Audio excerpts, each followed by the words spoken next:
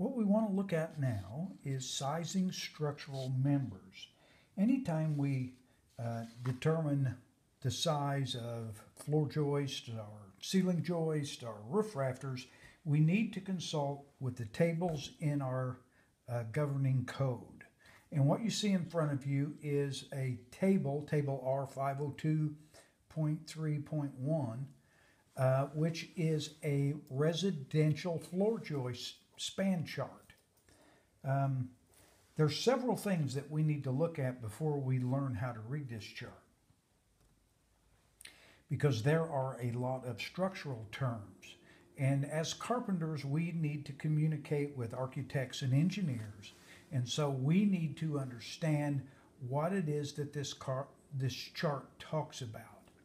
Uh, the first thing we notice up there, this says residential living area. Right here. Residential living areas, live load equals 40 pounds per square foot. And then we have a couple spots here where we see dead load 10 pounds per square foot and dead load 20 pounds per square foot. Well, the first thing we have to do is distinguish between the two types of loads. And dead load is the weight of the materials of the building that the floor must support. So dead load would involve the joists themselves, any sheeting that's attached to that, walls that are going to set onto the floor, non-bearing partition walls, the sheetrock on the walls, um, any of those things. And you'll also notice that we have a dead load of 10 pounds and dead load of 20 pounds. The difference between the two is the dead load 10 pounds is a floor with no ceiling support on the other side. Where we have dead load of 20 pounds, we will have a ceiling attached to that as we would on a second floor floor systems where the downstairs ceiling would be attached to the floor system. The other thing we see is we see a live load of 40 pounds per square foot. A live load, those are those things that um, are not constant, things that change. They're the loads that are caused by people, furniture, appliances, those kinds of things on a floor are considered live load. And for residential living areas, we use 40 pounds per square foot as opposed to sleeping areas where we use only 30 pounds per square foot. The next thing you'll see on all span charts is L over delta equals 360.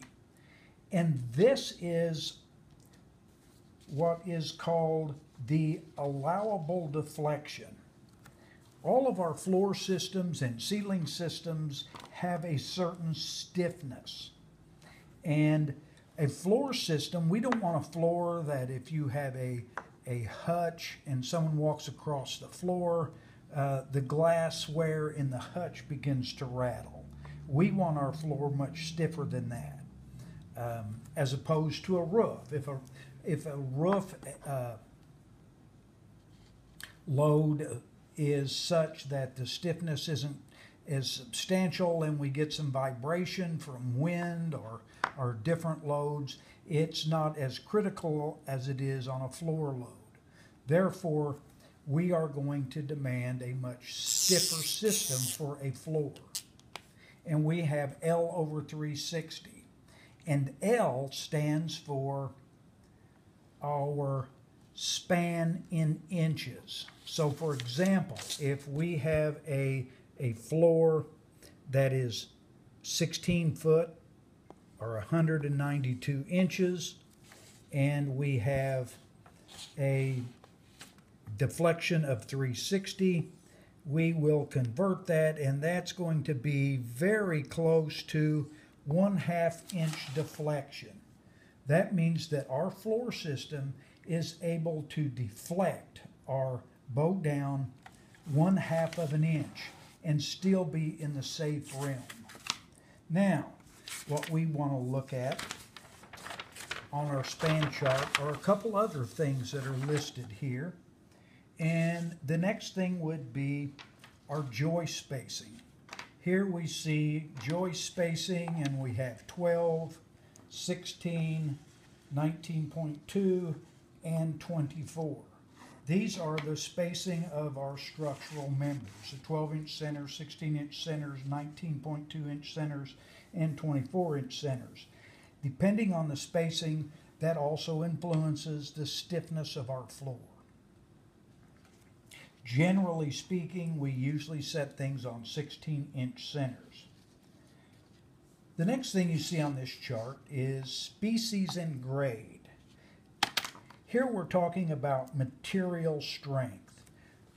All wood, as you well know, is not created equal. Some species of wood has much greater strength characteristics than other species.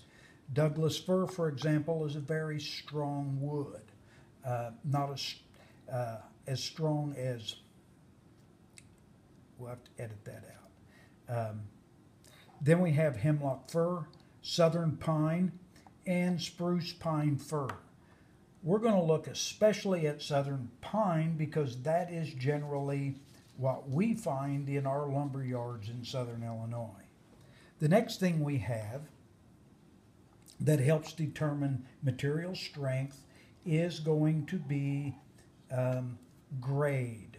And we have four different grades shown here. We have SS, which stands for select structural. We have number one, number two, and number three common.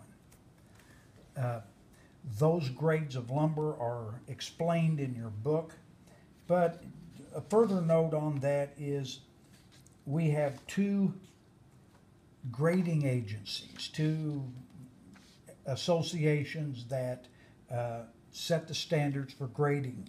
One is the Southern Pine Inspection Bureau, and the other one is the Western Woods Product Association. And they set the guidelines that we in the construction business use to determine the grade of the lumber.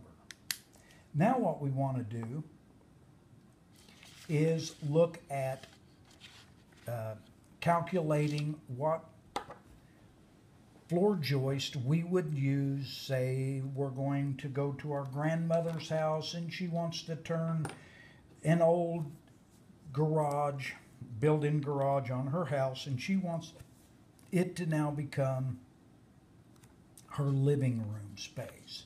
So the first thing we're going to do is measure our span.